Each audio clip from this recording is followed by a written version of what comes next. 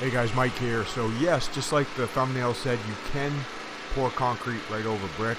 Today we're doing a big stamped concrete patio right over this old brick patio. And whether it's brick or concrete, you can pour right over it. As long as the as long as the existing sub base here, which is brick, is sound, it's in good shape, it's not settling or heaving, it's perfectly fine to pour right over it. Now we're pouring four inches of concrete, 4,000 psi with fiber mesh right over this. We decided not to use any wire or rebar because I got to drive that power buggy over it.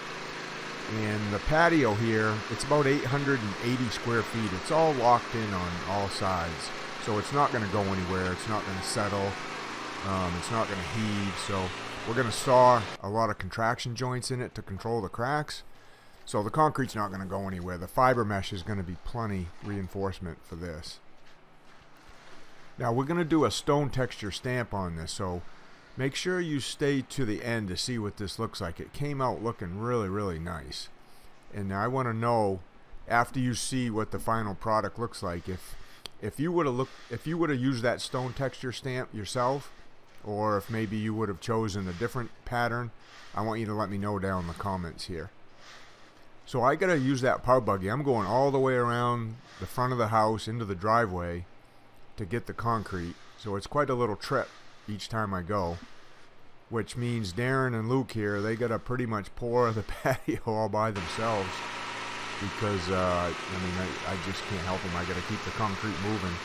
We want it, this is early, early in the morning. It's like 6.30 in the morning. You can see most of it's in the shade right now. We want to try to get this thing in here because it's going to be all in direct sunlight when we start stamping.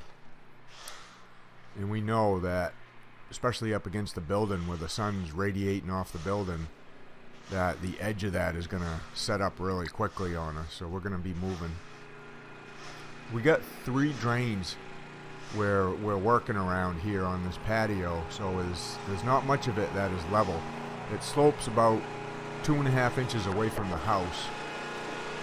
And we're trying to make it slope to each one of these drains also. You can kind of see the white ISO strip we use in the background it kind of dips down here and there, and that's where a drain is. So the the rainwater will just go into the drain, and you know, outside the wall there. This is a big there's a big wall on the outside of that, and then down below to get rid of the water.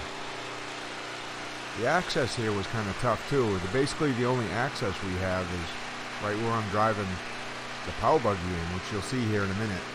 And then to get to the other side where we started, when we start stamping, we're going to have to walk around by that railing on top of the wall.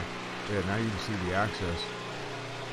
So it was a little tricky when we go to start stamping, but we got to get this thing poured first. It took about 11, I think it was around 11 to 12 yards of concrete here. We're using a 3 8 stone. I like using the smaller uh, size aggregate when we stamp I just think it makes it a little easier to press the stamps into the surface.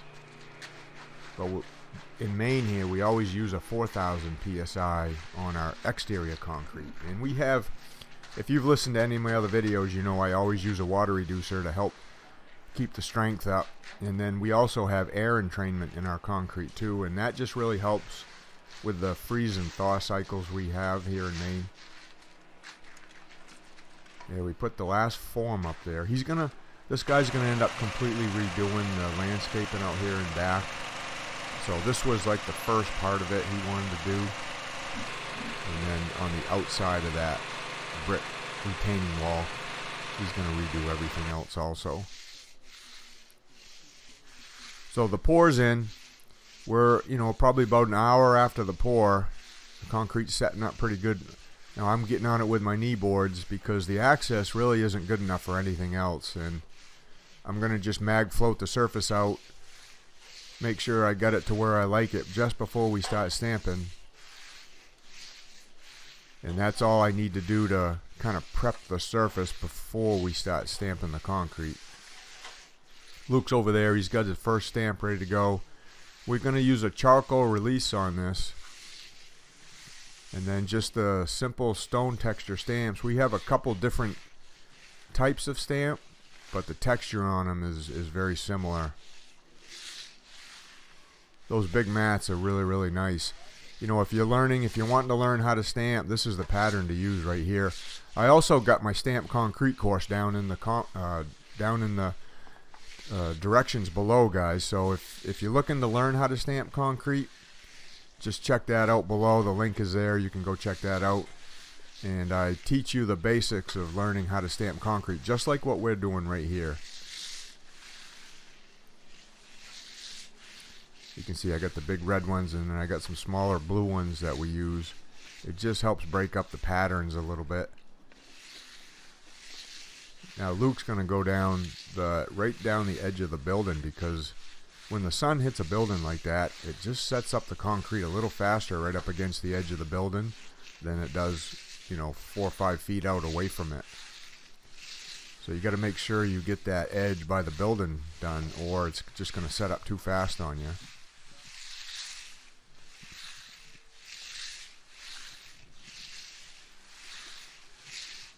we're gonna pressure wash and power wash everything the next day so after we get it stamped today we'll let it sit. We'll come back the following day and we'll clean everything off. And if we get any of that release on something you know it comes right off with some Dawn dish detergent and some water a little scrub brush.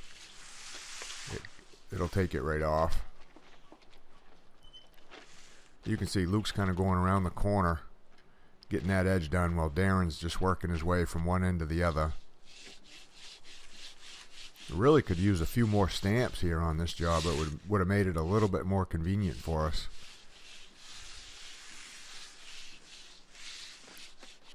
But this is the basic process when you stamp. And, you know, this is about 880 square feet with basically three of us. I mean, two of us, two of them guys have been out there for most of it. Now I'm going to jump back. But out in the sun, on top of a, on top of a, like a brick sub base here, this is a, you, you wouldn't want to do much more than this.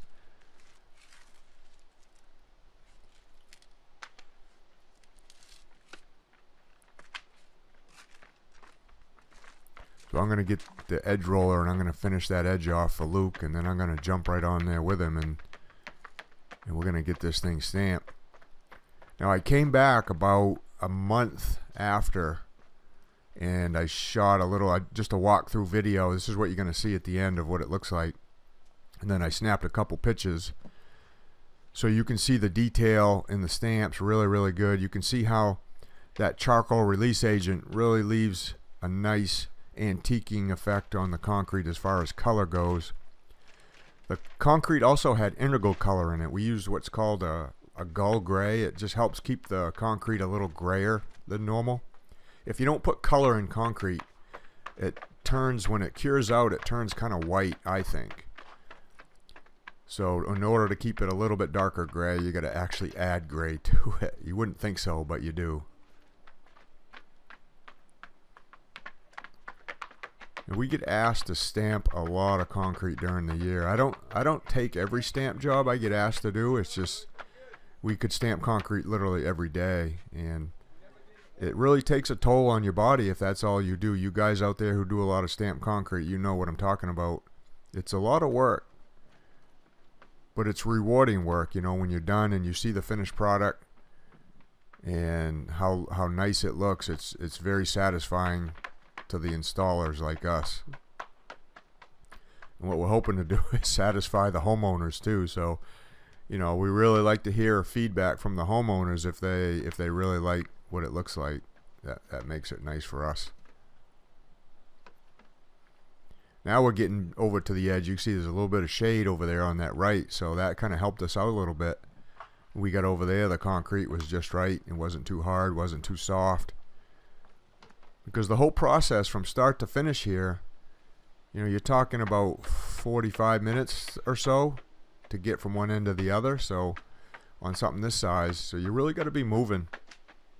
You wait too long, if you're too slow, by the time you get down to the the end here, the concrete's just going to be hard and you're not going to get much of a pattern in the surface.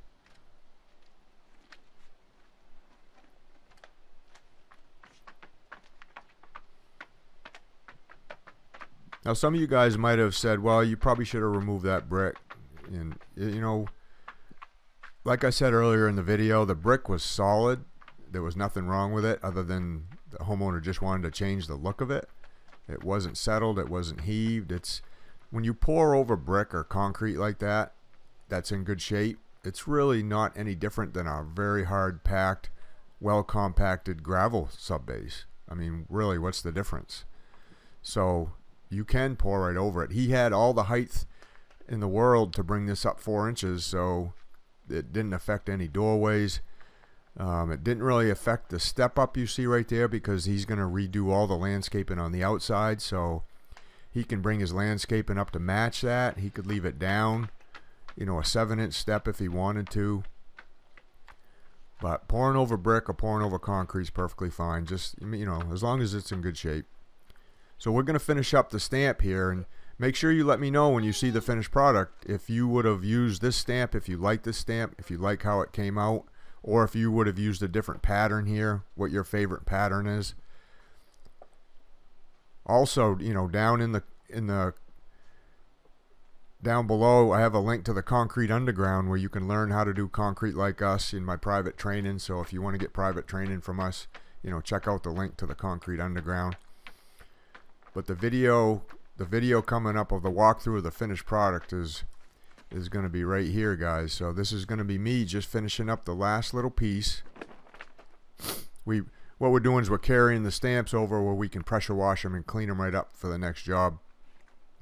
I'm going to finish off this last little piece. You can see I didn't have to pound too hard with my feet because the concrete was just the right texture. Now here's the finished product. Like I said, this is about a, a month later I came back. Homeowner had all his stuff back on it. You can see all the detail of that stamp in there with that stone texture. It's really, really nice. And then the, the darker black is the release agent.